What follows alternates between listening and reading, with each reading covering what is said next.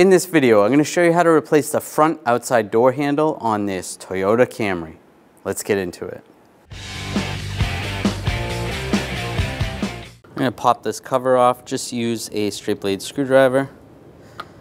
Just pop it off like that. Using a T30 socket or driver, you want to loosen up this bolt right here.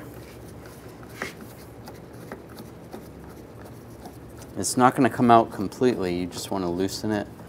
And then you're going to take this cover. You can just give it a wiggle.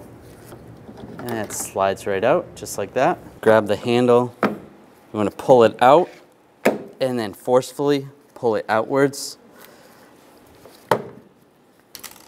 And very carefully just twist this sideways. There is a connector in here.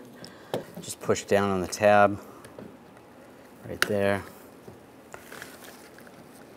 There's a little cage on there. I'm gonna take that off. You can use a pick underneath those two little tabs as well. And that just slides right off. And take the new handle, line this up lock that down just like that and you want to slide this part in first might want to use just a pick or a screwdriver just guide this in just like that. Then line the front up.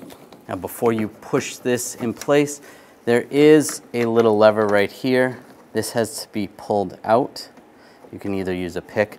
Sometimes you can use um, either fishing line or a wire and just pull this out and take this part of the handle, slide that in place, and just get that underneath there.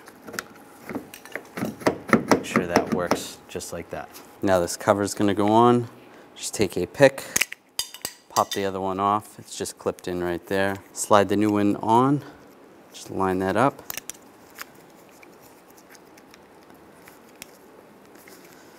and lock it down. Now slide it in position, just like the old one came out.